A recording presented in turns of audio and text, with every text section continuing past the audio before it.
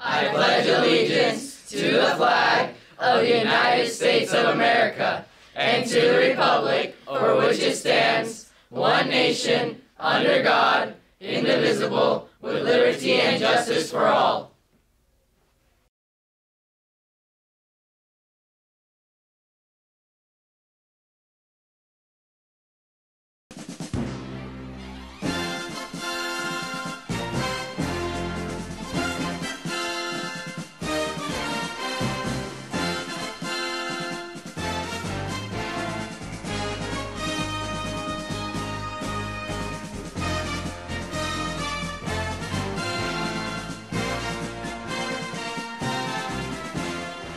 Good morning, Cougars. Welcome to SCTV News for Wednesday, September 25th.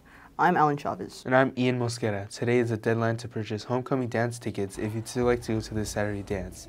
You have until the end of the day today to visit the finance office. Tickets are $45 with an ASB sticker and $55 without. Again, today is the last day, so get there before the end of the school.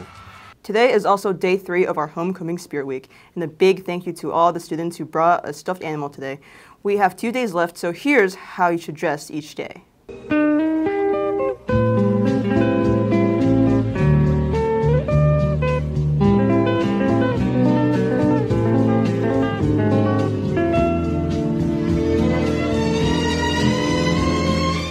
This Friday is our homecoming assembly. We will be on a double assembly schedule. Not only will we have some great entertainment for you, but you will also learn more about the members of our homecoming court. Also on Friday, the class of 2025 will be voting for two members of the court to be homecoming king and queen. Check your school email on Friday for a voting link. But you'll have to wait until the homecoming football game to find out the results. This Friday, our Cougars welcome Point Loma to Cougar Stadium.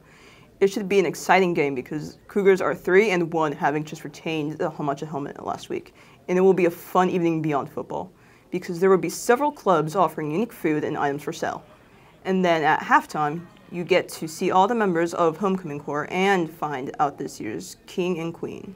And then the big day is this Saturday. The 2024 Homecoming Dance is on our campus starting at 6 p.m.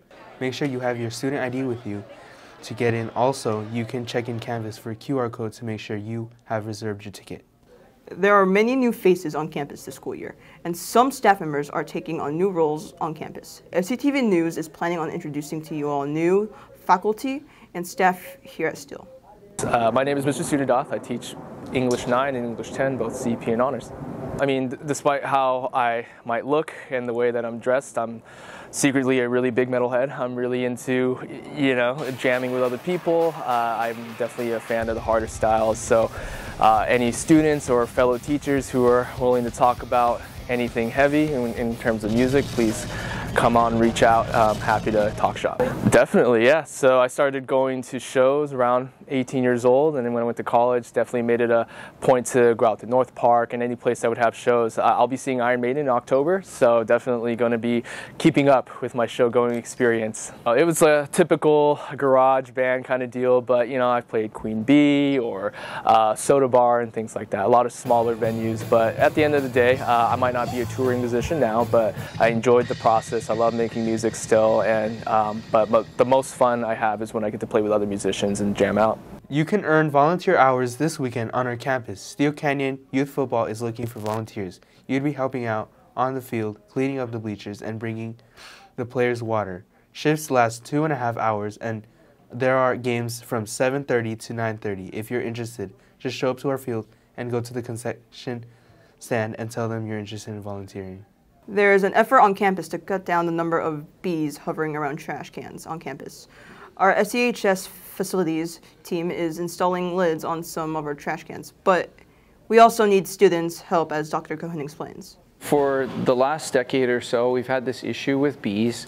Um, they usually arrive right at the beginning or the end of summer, like August when the students come back, and they kind of stick around because they're looking for food. Um, they're looking for water, so they're visiting our trash cans basically, and they can sense the evaporation trails that are going up into the air. So um, as a way to try to help keep the bees down, we started to pilot some of these trash can lids. Obviously, the worry for us was are kids going to want to push the lid open to throw their trash away, or is it going to create more of a problem? And what, what we're finding, because we didn't know if um, this would actually work is the bees after a couple days forget that the trash that the trash is inside. The bees sense um, the food inside if there's no lid. The evaporation from the juices and the milks and everything is what the bees are going after. They just want to get food basically. So if we have this lid on, then people have to throw their trash away using the little lid, but it pops back and that keeps the bees at bay.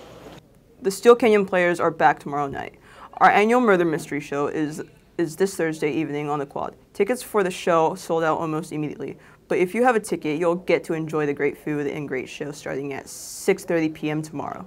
Girls golf has a match against Eastlake today. Girls flag football is San Diego Academy. Varsity at 4 and JV at 5:15 and girls volleyball is home against Grossmont. Freshmen at JV at 5 and varsity at 6:30. That's all the news we have for you today. Have a great week. Raw Raw Cougars. Cougar Pride, Get some!